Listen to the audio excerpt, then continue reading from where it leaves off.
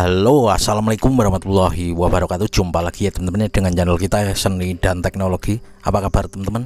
Semoga kita semua selalu dalam keadaan sehat walafiat ya. Amin. Oke teman-teman ya di video kali ini kita kedatangan HP Oppo A17 atau CPH2477 ya. Jadi HP ini datang ke counter dalam keadaan terkunci akun Google seperti ini ya. Bisa dilihat pada tampilan belakangnya ya. Ini adalah Oppo A17 atau CPH2477 Bisa kita lihat di sini ya verifikasi akun ya Perangkat ini telah diriset untuk melanjutkan kita harus memasukkan akun Google yang terakhir tertaut atau disinkronkan pada perangkat ini teman-teman ya. Ya sebenarnya sebenarnya kalau kita ingat emailnya dan passwordnya tentunya tinggal kita masukkan saja teman-teman ya email dan passwordnya. Namun jika lupa kita harus menghapusnya atau membypass FRP akun Google-nya teman-teman ya Oke di sini kita akan membahasnya ya, bagaimana cara menghapusnya. Oke di sini sudah kita sambungkan ke jaringan WiFi ya untuk syarat awal untuk melanjutkan cara menghapus akun Google atau cara membypass FRP akun Google pada HP Oppo A17 atau 17K dengan tingkat batch keamanan terbaru teman-teman ya. Namun seperti biasa teman-teman ya sebelum lanjut ya jangan lupa dibantu like ya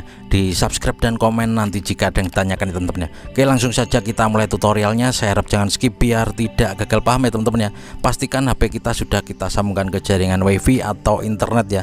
Bisa kita lihat di sini sudah kita sambungkan ke jaringan WiFi. Oke selanjutnya di sini kita bisa kembali-kembali terus hingga ke tampilan jaringan WiFi ya Oke kita pilih kembali dulu hingga ketampilan seperti ini disambungkan dengan WiFi ya. Oke selanjutnya di jaringan WiFi yang tersambung kita pilih yang i ada lingkaran ini ya teman-teman ya di sebelah kanannya ya. Oke kita pilih saja maka akan tampil seperti ini selanjutnya di sini kita pilih kelola QR WiFi ya yang paling atas ini teman-teman. Oke kita pilih saja maka akan tampil seperti ini. Selanjutnya di sini kita pilih yang bawah ya teman-teman ya. Bagikan lewat berbagi terdekat ya. Oke kita klik saja maka akan tampil seperti ini. Selanjutnya kita pilih aktifkan yang bawah ini. Oke kita tunggu. Oke selanjutnya di tampilan ini kita pilih yang bawah lagi. Perlu bantuan untuk berbagi. Oke kita pilih saja ini ya teman-teman ya yang bawah. Oke kita tunggu meleset ternyata. Kita ulangi. Oke kita klik ya yang bawah. Oke kita tunggu. Maka akan tampil bantuan seperti ini. Selanjutnya di sini kita pilih yang pojok kanan atas ya titik tiga ini teman-teman ya. Kita pilih saja. Selanjutnya kita pilih bagikan artikel. Oke bisa kita lihat di sini ada tampilan seperti ini. Kita pilih yang pesan warna hijau ini. Kita pilih setuju dan lanjutkan. Dan kita pilih pesan baru.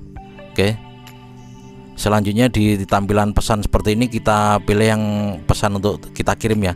Di sini formalitas nomor berapa aja bisa ya.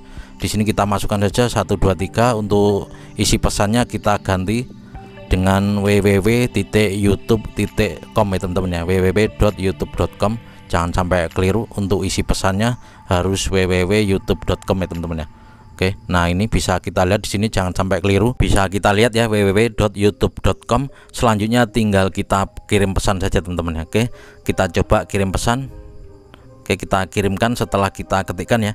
Nah, ini bisa kita lihat di sini ternyata nggak bisa. Kita harus memasukkan kartu ya untuk syarat kirim pesan ya ini enggak ada kartunya teman-teman. Kita masukkan dulu untuk kartunya untuk syarat kirim pesan. Yang penting masih kebaca di HP ya walaupun enggak ada pulsanya juga enggak apa-apa. Kartu ini fungsinya untuk syarat kirim pesan ya teman-teman ya. Oke kita masukkan dulu. Pokoknya saya jangan skip ya biar tidak gagal paham ya.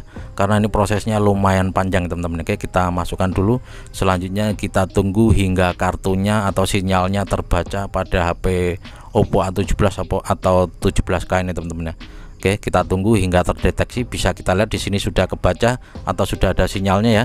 Selanjutnya tinggal kita kirim saja untuk pesan yang kita ketikkan ini ya www.youtube.com kita kirim saja. Selanjutnya di sini kita klik pada ketikan tadi ya yang URL ini teman-teman ya. Kita klik saja. Oke. Aduh meleset lagi kita ulangi. Selanjutnya kita pilih buka URL yang paling atas maka akan tampil seperti ini. Waduh ternyata YouTube-nya minta update ya. Di sini kita harus mengreset ulang seperti awal ya teman-teman ya. Jadi kita matikan dulu. Selanjutnya kita tekan dan secara bersamaan volume bawah dan tombol power ya. Seperti reset pada umumnya ya. Oke kita reset lalu kita percepat videonya teman-teman ya biar tidak kelamaan ya. Karena sangat mudah untuk cara melakukan reset pada HP Oppo A17k kita tekan secara bersamaan volume bawah dan tombol power hingga muncul language dan kita pilih bahasa Inggris lalu kita pilih format data. Ya Oke kita percepat saja videonya biar tidak kelamaan ya teman-teman ya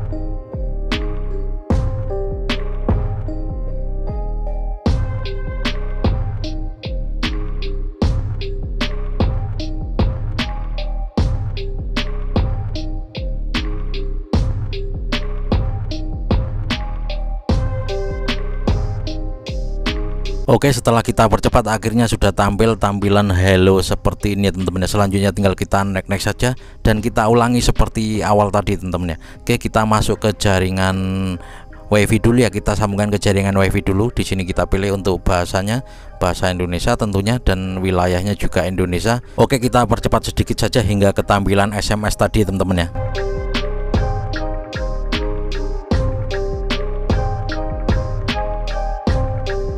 Oke kita sudah berada di tampilan isi pesan lagi. Kita ketikkan saja www.youtube.com seperti tadi. Selanjutnya tinggal kita kirimkan saja teman-teman ya Oke bisa dilihat sini sudah ada kartu SIM-nya tadi ya. Tetap seperti tadi. Selanjutnya setelah kita kirim kita klik saja pada URL isi pesan ini. Kita buka URL-nya maka kita akan dibawa ke tampilan YouTube via browser ya. Oke di sini kita pilih mana aja bisa Chrome ataupun browser internet bawaan ya Oke kita pilih untuk terima dan lanjutkan. Di sini kita pilih lain kali. Oke. Kalau kalian terjadi kegagalan atau mental balik lagi kalian ulangi hingga masuk ke internet seperti ini ya teman-teman atau ke Chrome sama aja. Oke. Bisa kita lihat di sini sudah masuk ke tampilan YouTube via Chrome atau via browser ya teman-teman ya. Oke, selanjutnya di tampilan browser seperti ini kita ketikkan saja di atas ya.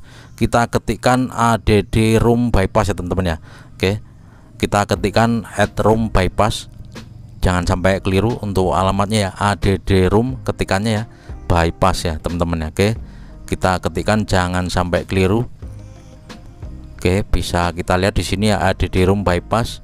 Nah, ini kita pilih saja yang paling atas bisa ya. Yang ini ya ada di room bypass nah ini kita ketikkan atau kita ketuk saja yang paling atas kita pilih yang paling atas maka akan tampil seperti ini.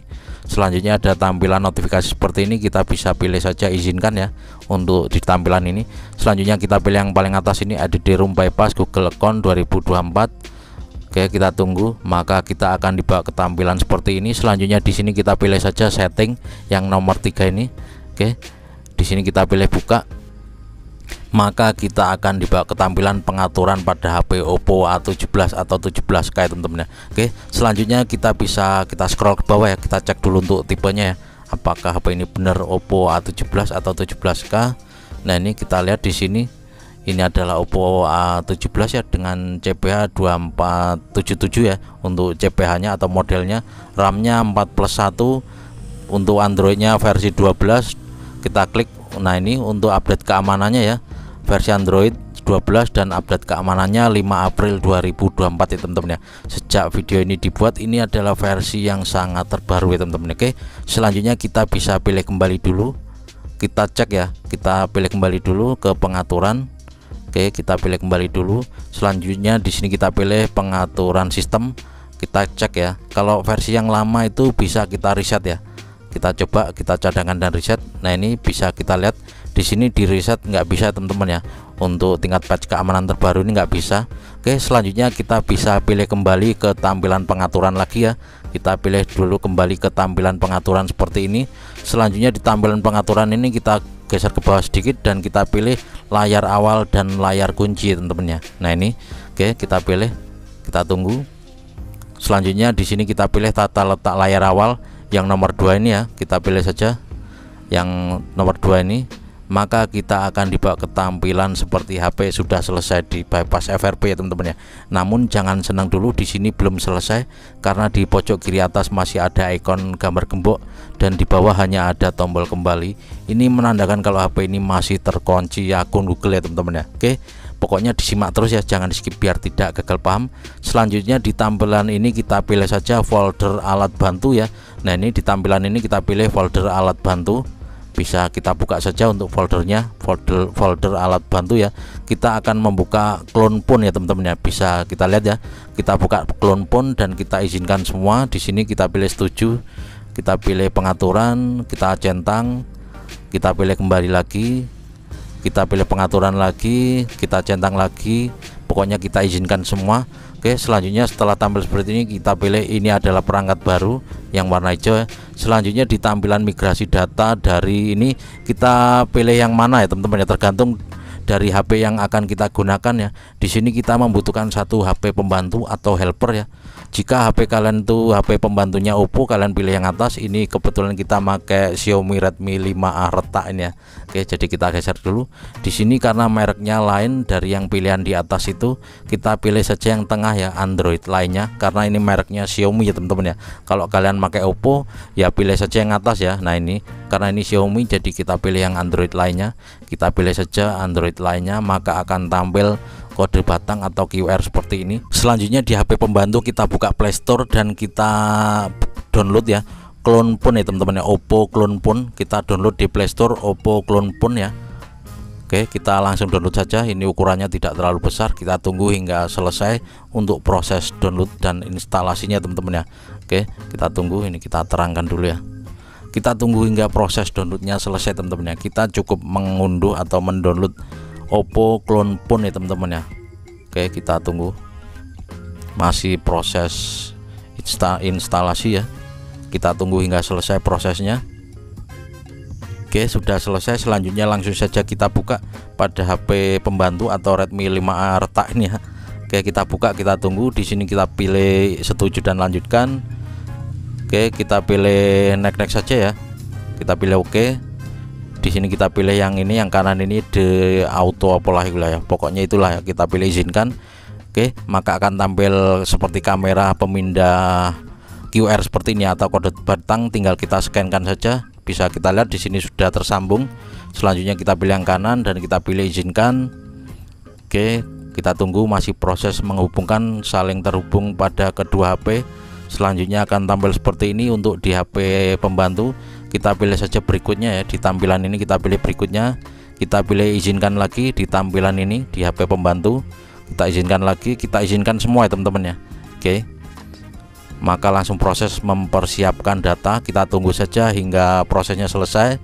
Oke. Selanjutnya di atas kita hilangkan centangnya. Kita pilih data yang terkecil saja yang kita kirim ya teman-teman ya. Di sini kebetulan yang paling kecil ini foto.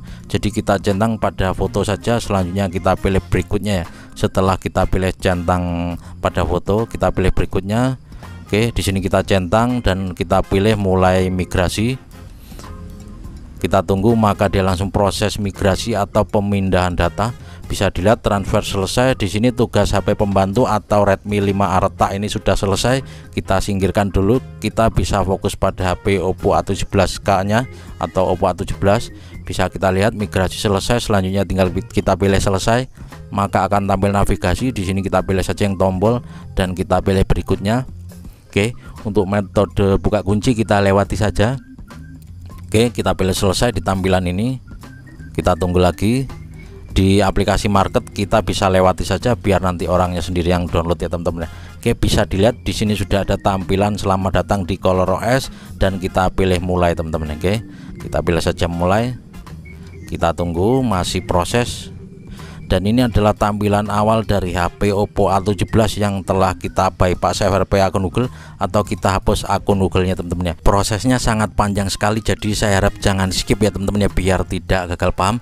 Oke bisa kita lihat di sini sudah bisa untuk login ya dan di atas sudah tidak ada ikon gambar gembok. Ini menandakan kalau sudah selesai prosesnya teman-teman ya jadi seperti inilah teman-teman ya cara menghapus akun Google atau cara membypass FRP akun Google pada HP Oppo A17 atau 17K sama saja teman-teman ya caranya seperti ini. Semoga video ini bisa bermanfaat ya. Sekali lagi terima kasih yang udah klik video ini teman-teman ya jangan lupa dibantu like ya di subscribe dan komen nanti jika ada yang ditanyakan teman-teman ya bisa kita lihat di sini sudah bisa di reset ya Nah ini kalau tadi kan nggak bisa ya untuk kita reset ya karena di sini sudah clear atau sudah down jadi bisa kita reset ya teman-teman ya. Oke kita bisa cek kembali untuk tingkat patch keamanannya atau tipenya kita bisa kembali dulu. Nah ini kita cek lagi apakah HP ini tetap HP yang tadi ya.